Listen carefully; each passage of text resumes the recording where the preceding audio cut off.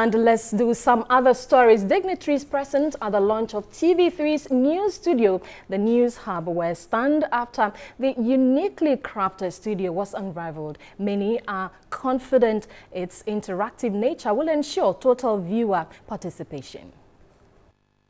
To engage with our audience and our viewers in a, in a more uh, concise manner. My name is Nanikia. The new studio, christened the News Hub, is currently unraveled in Ghana. It gives audience a refreshing way of television news experience with international standards.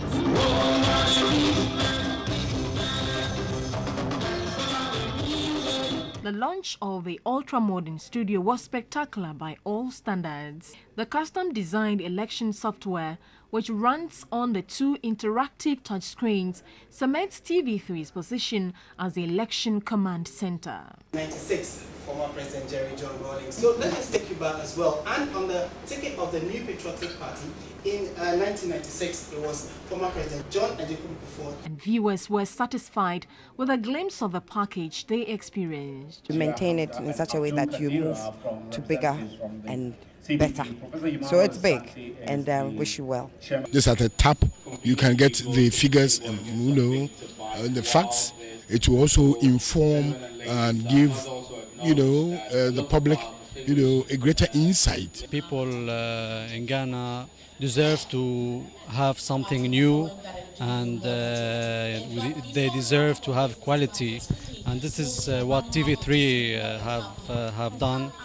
Uh, it's my pleasure being here and uh, I really enjoyed it.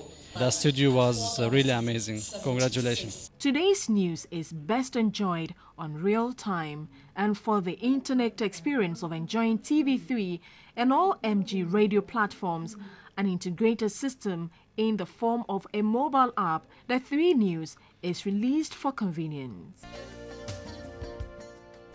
And off camera, is you were telling me the story of uh, someone yesterday. Say that again. You're telling me the story of somebody yesterday. Uh, Paa Kwesi, you don't want the viewers to know. I just don't want them to know.